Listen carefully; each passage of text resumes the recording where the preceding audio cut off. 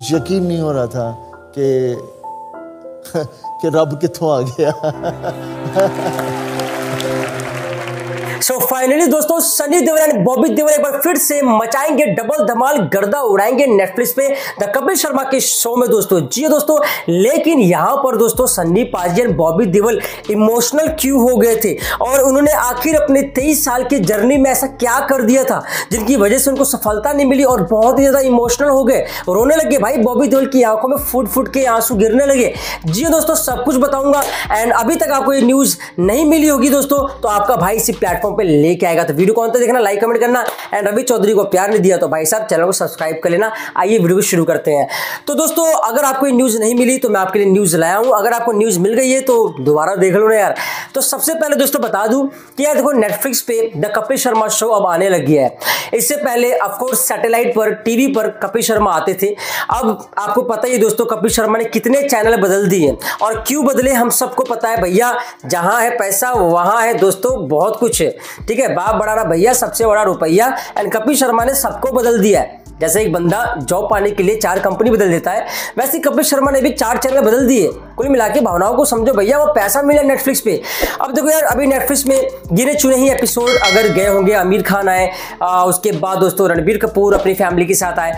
Now दोस्तों ठीक है वो तो आए है लेकिन जब भी देवल जिस एपिसोड में आते हैं ना जब भी देवल प्लेटफॉर्म और मंच पर चढ़ जाए तो उसकी बात ही अलग होती है। मतलब पंजाबी जहाँ है दोस्तों वहाँ क्षमा तो बंद जाना ही है। एंड आपको बता दूँ कि भाई ये एपिसोड कब आने वाला हो तो बताऊँगा बताऊँगा।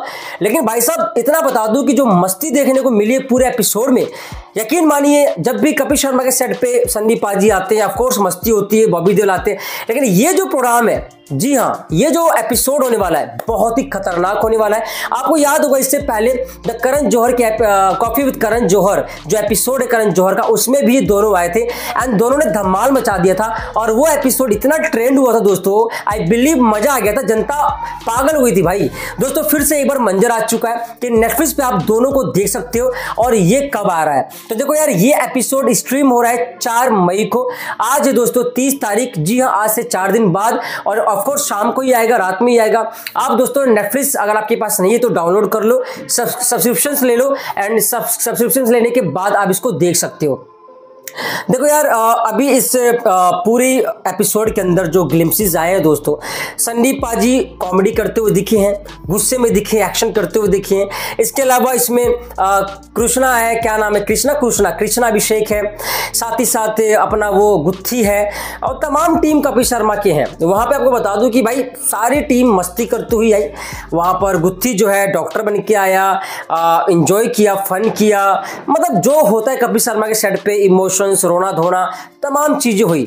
लेकिन सबसे मज़े की बात जो एक चीज़ बोली गई वहाँ पर सन्नी देवल ने बोला, जब उसे पूछा गया ठीक है, कि आखिर तेईस साल का सफ़र क्यों लग गया? संदीप पाजी ने बताया कि वैसे तो देवल जो है वो 1960 से 19 1960 से लोगों के दिलों पे राज कर रहे हैं, लेकिन बीच में तेईस साल का जो गैप था, वो कहीं ना कहीं स्ट्रगल से भरा हुआ था।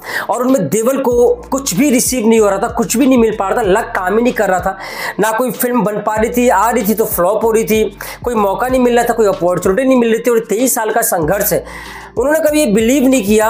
सन्नी देवल इनफैक्ट अपनी चीज़ें बता रहे थे यानी बॉबी देवल की उस टाइम पे दोस्तों जो आँखों में आँसू आए थे लिटरली आप बिलीव करो भाई कि वो वाकई में वो दर्द को उन्होंने महसूस किया था। और नाउ कहते हैं दोस्तों कि बुरे वक्त के बाद अच्छा वक्त भी आता है एंड बुरे वक्त में कभी भी हार नहीं मानी चाहिए। हमेशा लड़ना चाहिए। हम सबकी लाइफ में बुरा वक्त आता है, किसी के पास पैसे नहीं है तो किसी बीमारी से घिरा हुआ है।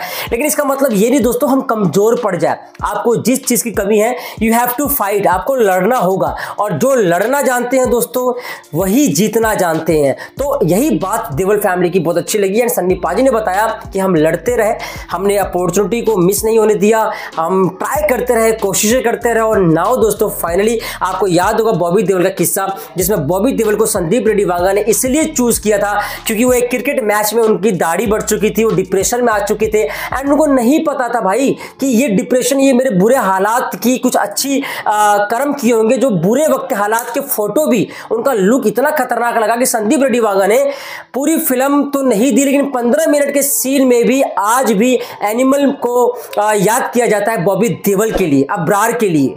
आप सब जानते हैं इतिहास, गवाह इतिहास रच दिया फिर तो।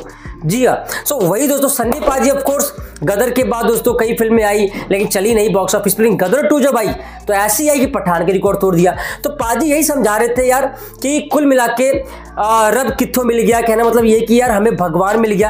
क्योंकि 2023 one of the blessing year रहा है उनके लिए, जिसमें उनके पिताजी धर्मेंद्र जी को भी काम मिला, रॉकी रानी की प्रेम कहानी आई। उसके अलावा शाहिद कपूर की फ़िल्म आई थी भी रिसेंटली ठीक है? विथ थे कृति सैनन, उसमें भी वो पार्ट थे। इसके अलावा दोस्तों, गदर टू, आई गदर टू के बाद अब पाँच छः सात फ़िल्में सनी देओल की पाइपलाइन में जो कि रेडी है और बैक टू बैक आने वाली है और तबाही मचाने वाली है लाहौर नाइनटीन फोर्टी सेवन। मतलब तमाम फ़िल्में आप सबको पता है, मैंने बता रखा है, ठीक है? लाहौर नाइनटीन फोर्टी सेवन है, सफ़र है, बाप है, सूर्या है, तमाम फ़िल्में दोस्तों पाइपलाइन में वही बॉबी देओल की कंगुआ है, आश्रम फोर है, ठीक है? और भी तमाम प्रोजेक्ट लाइन में है ठीक है? तो दो हज़ार तेईस में उन्होंने बताया कि कैसे उनके बेटे की शादी भी हुई, काम भी मिला और इतना ह्यूज सक्सेस मिला कि यार चमत्कार हो गया। तो वो चीज़ इमोशनली लोग इमोशनल हुए। इसके अलावा दोस्तों, आप देख सकते हो सेट पे काफ़ी ज़्यादा फन किया, लोगों ने मज़े किया, मस्ती किया।